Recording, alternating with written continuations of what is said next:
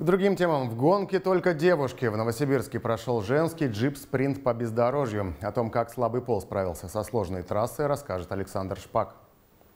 Точно внедорожник? Да, да, да. Вставай, будешь стартовать. Хрупкая девушка на многотонном джипе. Таких сегодня немало. Судья дает старт, машины рвутся вперед, едут на время. Трасса не из простых. Машинку занесло чуть-чуть, там надо было очень грамотно входить в поворот. Этого не получилось, соответственно, теперь у нас есть помятая дверь.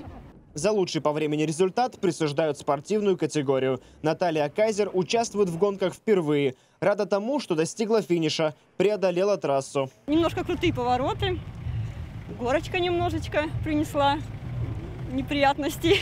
Так, в принципе, ничего, не надо торопиться, быть спокойным.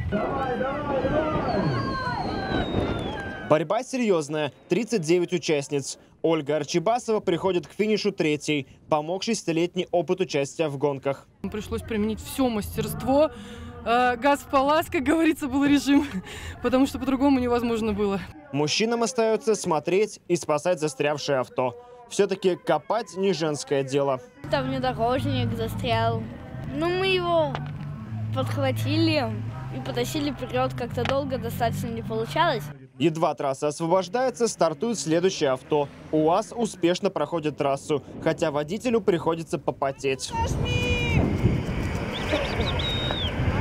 Я смогла, и вы сможете. Поэтому катайтесь, участвуйте в соревнованиях, это очень круто.